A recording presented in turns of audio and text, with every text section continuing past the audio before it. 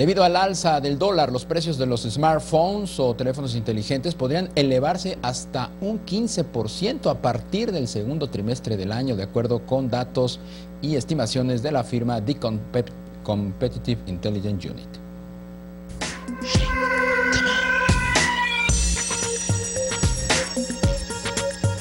La variación del peso frente al dólar traerá en los próximos meses un incremento de precios en productos de telecomunicaciones como smartphones, al igual que en algunos servicios, afirmó la firma de consultoría de Competitive Intelligence Unit.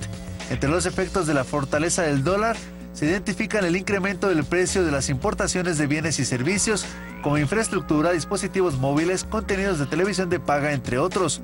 Gonzalo Rojón, director de análisis de The Competitive Intelligence Unit, explica. Desde mediados del año pasado, pues nuestra moneda se ha depreciado y pues obviamente la compra de equipos se hace en dólares. Entonces, si no lo habíamos visto a finales del año pasado o principios de este, es porque todavía muchas empresas que venden los equipos pues tenían un stock, ¿no? Tenían almacenados y pues obviamente esos conservaban el, precio anterior porque fueron comprados antes de la depreciación. Pues mira, lo que nosotros hemos visto es que el precio ha aumentado alrededor del 15%, 15.2%. Vemos que se va a trasladar un poco más hacia dispositivos de gama baja. A partir de principios del segundo trimestre, las empresas adquirirán los nuevos teléfonos a una cotización de 18 o 19 pesos por dólar, por lo que el producto al usuario final se elevará hasta en un 15%. Al cierre de 2015, el segmento de telefonía móvil tuvo un incremento de 2.2% respecto al año anterior.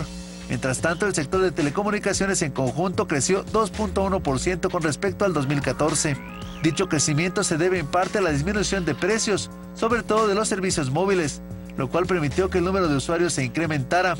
De acuerdo con el reporte anual 2015 del sector de telecomunicaciones y radiodifusión, las líneas de telefonía móvil alcanzaron una penetración de 88.6% respecto a la población en México, pues cerró en 107.8 millones de líneas.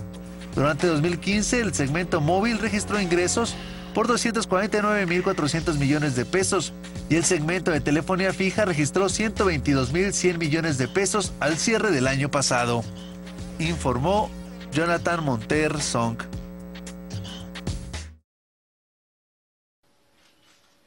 Te invitamos a seguir cuestionando la información con los siguientes videos.